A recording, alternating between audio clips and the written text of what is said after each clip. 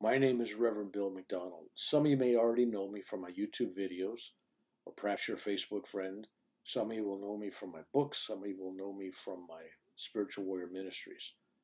But veterans generally know me because I'm out there giving free workshops, counseling, working with the homeless or the incarcerated. I belong to a lot of organizations, but one I'm proud of lately that's really reaching out trying to help veterans is IANDS, International Association of Near Death Studies. And that's kind of an odd thing. You wonder why they're reaching out to the veterans. Well, the problem is we're finding that veterans have had near death experiences on battlefields or on the surgery table after getting wounded, or they've had encounters with angels or had some kind of mystical supernatural experiences uh, while in the military.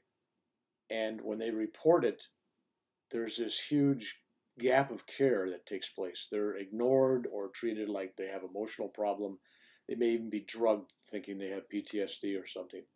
So, IANDS is reaching out to inform, to educate, to help the healing process of these veterans to realize what's happening is a normal thing, happens to a lot of people around the world.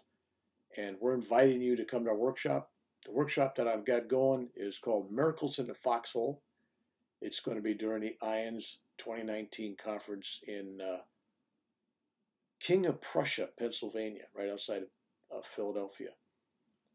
You can register for the uh, conference uh, for the whole week and, and go to all the events and all the talks, or you can register for two days, or you want to register for the day where we have all the military.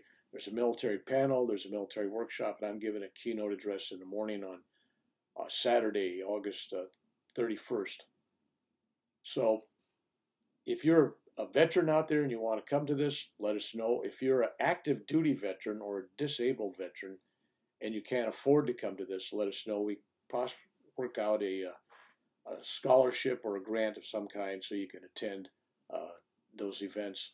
So check IANDS website and reach out, contact me uh, on my email. I'll post it with this, but it's Huey576 at gmail.com and I look forward to seeing you and uh, and being there for you in Pennsylvania. So God bless, and uh, look forward to being with you.